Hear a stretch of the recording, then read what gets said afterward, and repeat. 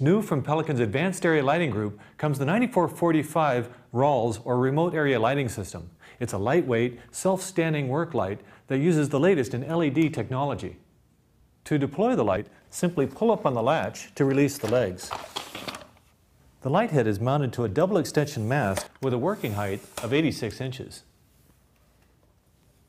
The sealed membrane switch keeps moisture out, and it includes a battery indicator light. If it's orange, needs to be recharged soon, and if it's green, you're good to go. The 9445 is a safety approved light, and that usually means less light output. But on high setting, this light cranks out 900 lumens and 450 lumens on low. The non-safety approved 9440 has 24 LED lamp modules that produce up to 2400 lumens on high and a burn time of 6 hours on low setting. With battery-powered lights, there's an inherent trade-off between burn time and brightness.